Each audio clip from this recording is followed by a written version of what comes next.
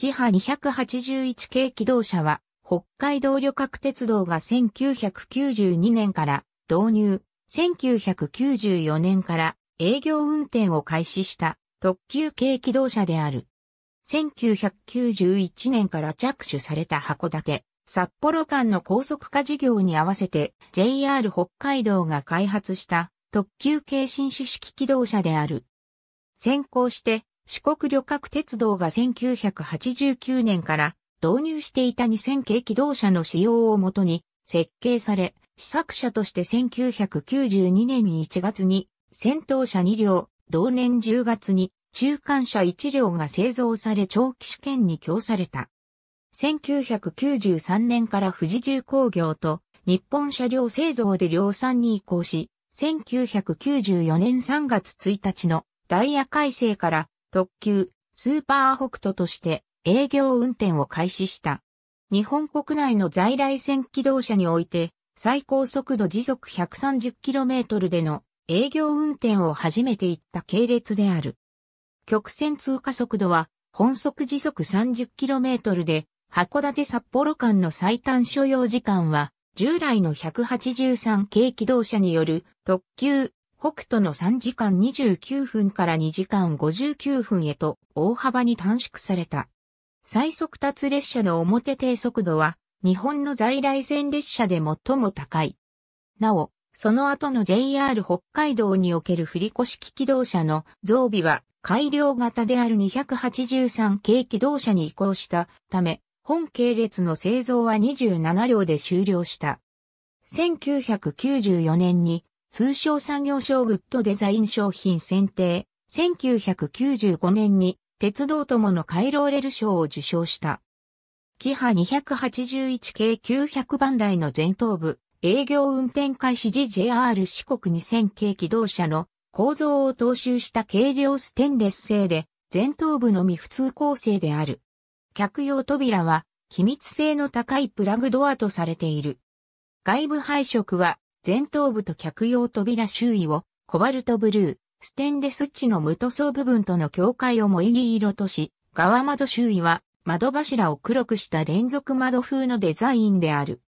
前頭部は、高運転台構造で波動輸送対応で増結しやすいよう貫通路付けとされた。高運転台は重心位置の点で新車両には不向きとされるが、エゾシカなどの大型動物との衝突事故が多い北海道では見通しの向上とそれら大型動物との衝突事故や踏切事故時の運転士保護のため採用したもので、JR 北海道が本系列以降に開発した特急系車両は、すべてこの前頭形状を採用している。先頭車の出入台は、前頭部眼通路に接続しており、貫通扉には、作業時の前方監視用にワイパー付けの扉窓を設けている。かつては貫通路と出入台との間は開放されており、乗客が全面展望を楽しむことも可能であった。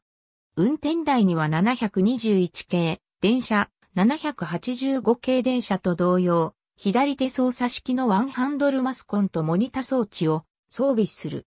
前頭部側面には、車両形式名と新種機能をイメージしたフューリーコ281のロゴマークとリサージュ図形が配されている。なお、前頭部側面のロゴマークは以下の変更を経ている。上、NDMF11 波山型機関が NDT281A 型台車小松製の直列6気筒ディーゼルエンジン NDMF11 ハザ型を各社に2台装備し、液体変速機は変速1段、直結3段式の NDW15 型を使用している。台車は溶断波付けボルスタレス式の NDT281A 型で制御不自然進式構を装備し、重心を下げるため車輪径を 810mm に小径化している。新式機は、キハ281系試作車では381系電車や2000系機動車で実績のある殺式を用いたが、体感対接能力向上のため、後に製作されたキハ280系試作車では、JR 四国パッセン系電車試作車に用いられた曲線ベアリングガイド式を採用し、この方式で量産された。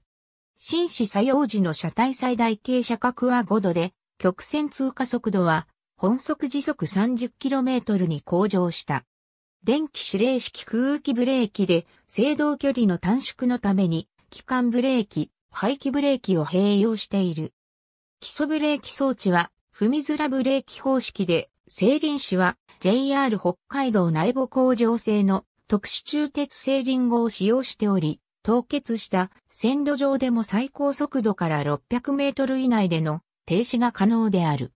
内装は785系電車の様式を踏襲し、フリーストップ式のリクライニングシートを設置。車内客室出入工場部に3色 LED 式の車内案内表示装置が設置されている。グリーン車の座席は2プラス1列の3列シートで重心のバランスを取るために車体中央で配列が逆転し、天体ショーになっている。座席の配色は普通車がモケットは紫色で、肘掛けはコバルトブルー。グリーン車がモケットは灰色で、肘掛けは薄茶色。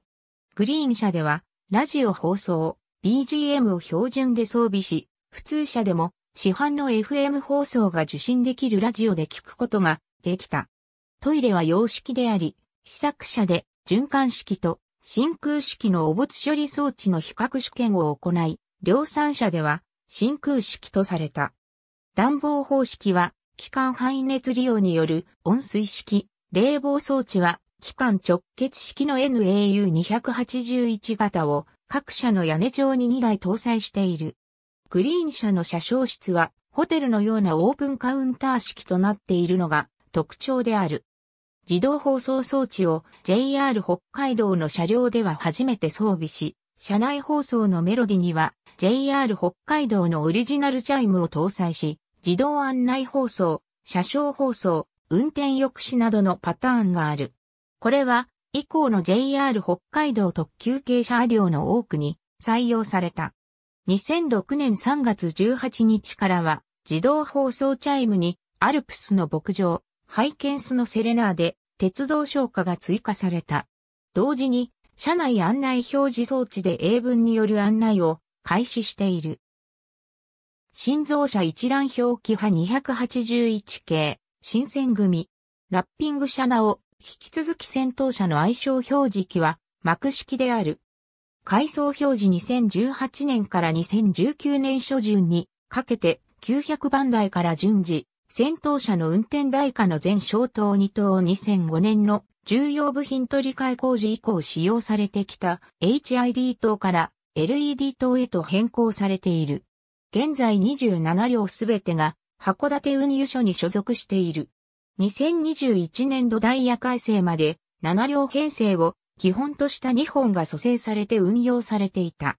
キハ283系と1両単位での連結が可能で多脚時の増結や本系列の検査時などで実施されていた。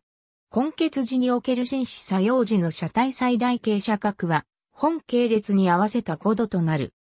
新型コロナウイルスの影響2020年3月23日より、新型コロナウイルスによる需要低下から第1段階の減車として、自由席が1両減り6両編成となった2020年4月6日より、新型コロナウイルスによる需要低下から第2段階の減車として、指定席が1両減り5両編成となった。また、自由席の混雑が認められたため、4.5両目を自由席と変更。